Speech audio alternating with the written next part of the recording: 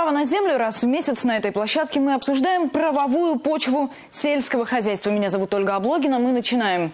Почему зарплата такая? Об этом мы поговорим в этом выпуске. И я представлю тех, кто сегодня у нас в студии. Это наши эксперты.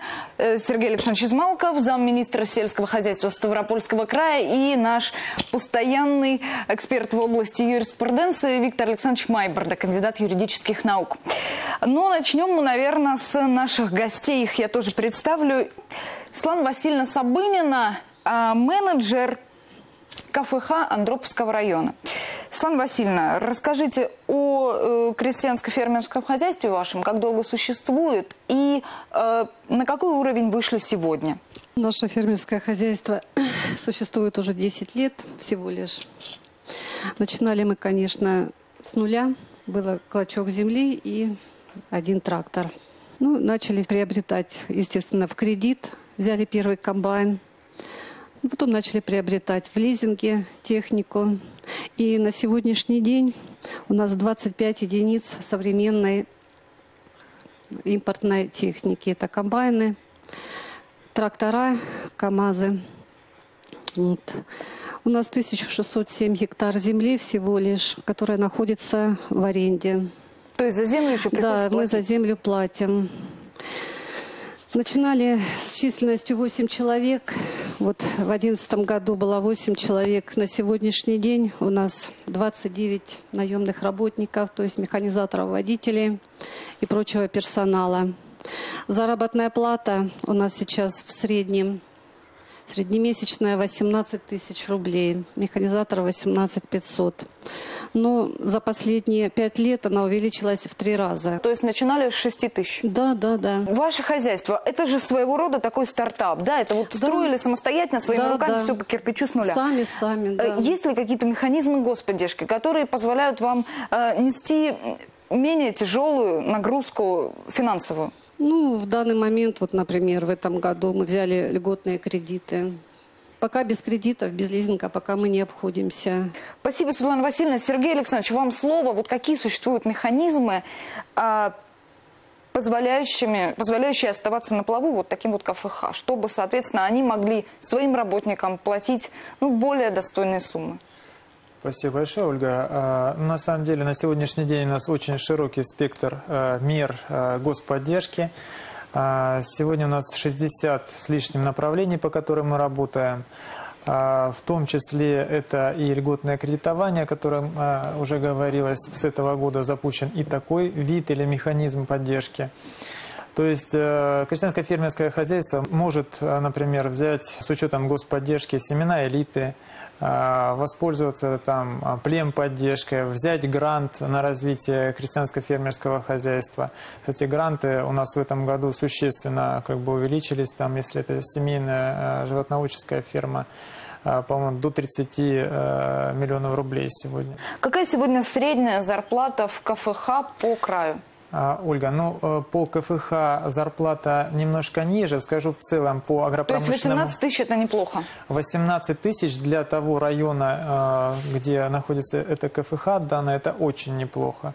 А В целом по краю заработная плата у нас в сельском хозяйстве вот по 2016 году сложилась на уровне 25 тысяч рублей. А Вот, динамика у нас достаточно приличная. Если брать 14, э, если брать 14 год, это 19 тысяч, сейчас 25. По темпам роста мы опережаем среднекраевые, э, среднекраевой темп роста.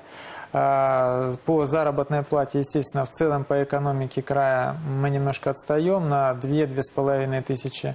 Но, тем не менее, рассчитываем, что в ближайшей, там, в среднесрочной перспективе мы выровняем эту ситуацию. Спасибо, Виктор Александрович. Приведите правовые механизмы, которые вот позволяют здесь балансировать.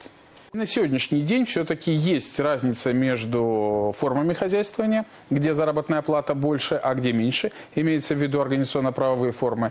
А законодательно приветствуемая ор- организационно-правовая форма для сельскохозяйственного производства – это кооперативы.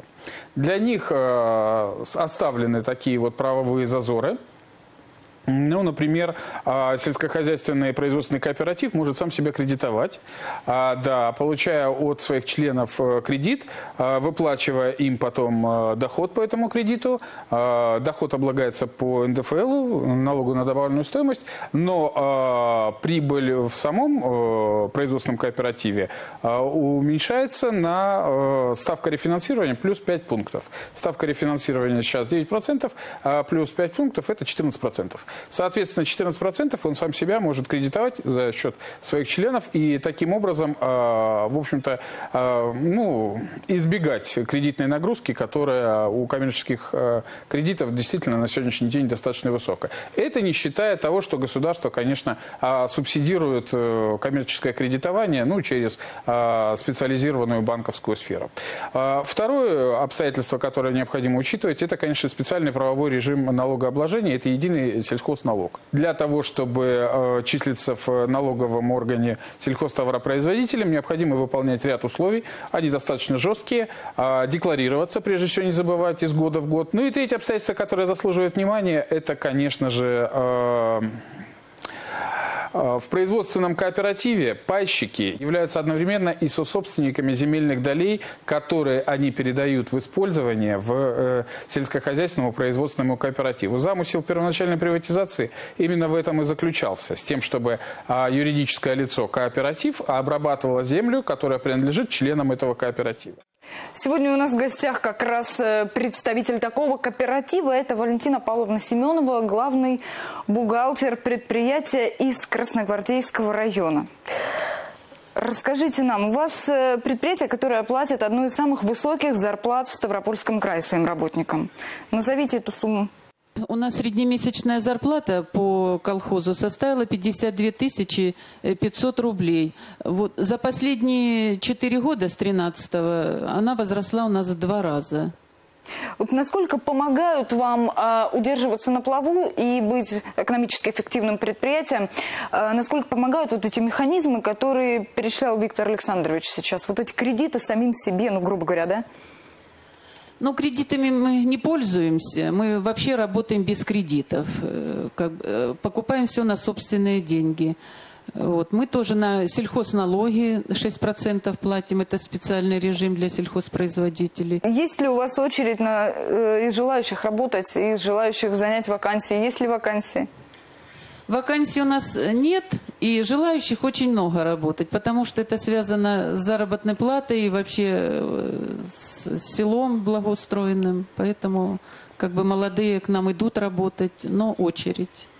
Валентина Павловна, о цифрах немного. Сколько работников у вас в штате числится и э, какой территориальный массив вы возделываете?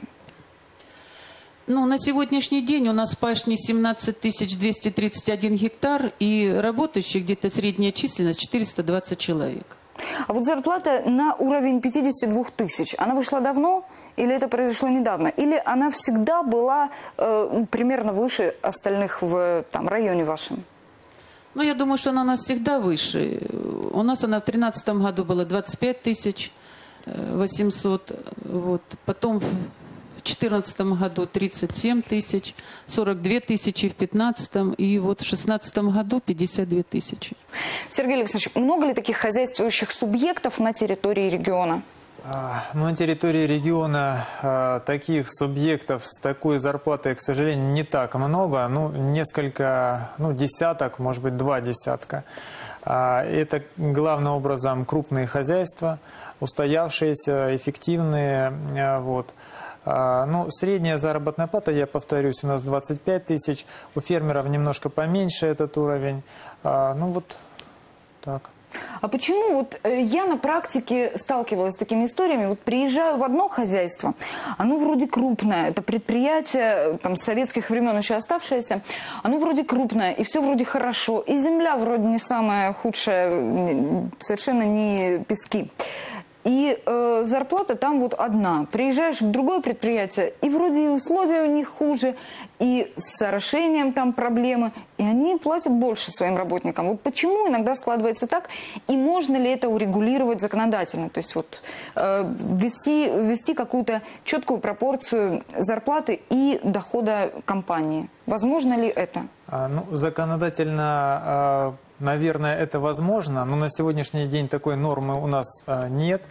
Э, У нас есть минимальный размер оплаты труда, от которого, то есть это базовая ставка, от которой отталкиваются э, начисления всей дальнейшей доходов наших крестьян. А Что касается вот э, хозяйства а, с одной заработной платой, крупные вы говорите, и на фоне этого существуют другие с а, заработной платой кратно выше, наверное, это прежде всего зависит от эффективности производства, от диверсификации экономики конкретного предприятия. Вот если мы говорим о хозяйстве да, СПК «Родина», которую сегодня представляет Татьяна Павловна, там есть и животноводцы, это племколхоз, там развивается крупный рогатый э, скот, причем племенное направление. Есть э, хороший там растеневодческий клин. И на, на этом они э, могут балансировать, могут в рынке лучше вписаться. Кроме того, я хочу сказать, что это хозяйство очень, и руководитель этого хозяйства, это очень социально ответственный и бизнес, и ну, предприниматель, да. А, У них э, идет социальная поддержка своих, э, своего коллектива. Они занимаются э, вопросами социального обустройства села. И это тоже не в последнюю очередь сказывается на том, что у них сегодня очередь на то, чтобы стать там комбайнером, трактористом и так далее, и так далее. Соответственно, и уровень заработной платы от этого тоже зависит. Виктор Александрович, помимо кооперативов, мы все поняли, что кооперативы это выгодно и успешно. Помимо кооперативов, кто получает много и как, например, КФХ получать больше? Вот есть ли э, какие-то еще вещи в законе, которыми просто там, может быть, не пользуются по незнанию? Такие вот э, люди, которые это все начали с нуля и еще там на стадии становления, грубо говоря. Ну, это действительно зависит от экономической смекалки, от той э, предпринимательской жилки, которая в каждом человеке, который на свой страх и риск, а под свою имущественную ответственность начинает заниматься этой формой предпринимательской деятельности. Ведь как бы не предполагали, что крестьянское фермерское хозяйство – это а, призвание а, к земле да, человека, что называется, начинает тянуть. Но, тем не менее, это экономическая деятельность, которая а, обязана быть э, выгодной, эффективной. Если э, пахать, сеять себе в убыток а, или вот КРСом заниматься себе в убыток, это, конечно, э, ни к чему хорошему а, не приведет. Э, Хотела бы вернуться к организационно-правовой форме. Она, э, кооператив привлекателен с точки зрения работника. С точки зрения капитала это крайне неудобная модель а для того капиталиста, ну мы его называем культурным инвестором, да, который является собственником предприятия. Постольку, поскольку ему нужно учитывать а, множество экономических интересов участников э, кооператива, договариваться с ними, идти на компромиссы с ними. А, Вот доминирующая э, форма капитала, которая конечно же, и в кооперативе будет присутствовать, кому-то принадлежит большинство голосов в нем. А, тем не менее, а, вот это большинство вынуждено считаться с меньшинством, в отличие, например, от акционерного общества или от общества с ограниченной ответственностью, где достаточно а, добиться консолидированного большинства, ну, 50 там, традиционно плюс 1%, а, и, соответственно, уже диктуешь свою волю а, меньшинству. Вот с точки зрения работника, кооператив, конечно, это самая а, ну, удачная форма для- в качестве работодателя. А, Крестьянское фермерское хозяйство, оно а, законом предназначено для семейных, для лиц, которые обладают семейными, родственными или свойственными связями, и которые, соответственно, не считаются с тем обстоятельством, кто сколько, э, какое количество часов э, конкретно отработал. Они все вместе, э, всей семьей хозяйствуют на этом земельном массиве, который они обрабатывают. Вот между этими организационно-правовыми формами законом предполагается такая разница. Спасибо, Виктор Александрович. Я напомню, сегодня в гостях у нас был Виктор Александрович Майборда, кандидат юридических наук, Сергей Александрович Измалков, замминистра сельского хозяйства Ставропольского края. И наши гости, спасибо, что приехали. Светлана Васильевна Сабынина, менеджер КФХ из Андроповского района, и Валентина Павловна Семенова, главный бухгалтер предприятия из Красногвардейского района. Меня зовут Ольга Облогина. Встретимся в следующих выпусках. До свидания.